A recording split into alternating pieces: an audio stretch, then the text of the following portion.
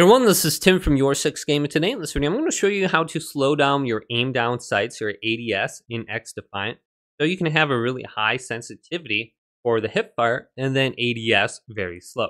So to do this, on the home screen here, let's press R3 in settings, go to controller. Now we can scroll on down under here. So I have my horizontal sensitivity and my vertical sensitivity set to 100. I'm going to be whipping around and then my aim response curve is going to be the reverse S curve. But then we have the two options right here, controller aim look sensitivity factor. Apply a factor to the current controller sensitivity when aiming.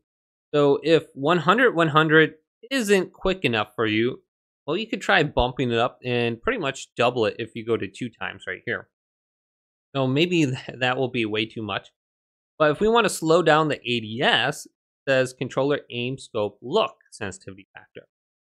We can come to this section and then we could reduce this right here. So this is the one you want to adjust to have a slower ADS. So you can put it at whatever you want, maybe like 0.8 would probably be good. And then you can adjust your sensitivity how you want it. I'm going to bring this one back down to something normal, like just leave it at one and see how I like it. But hopefully this quick little video did indeed help you out. Did leave a big thumbs up and subscribe my channel down below for more tech videos coming up next on Your Six Gaming.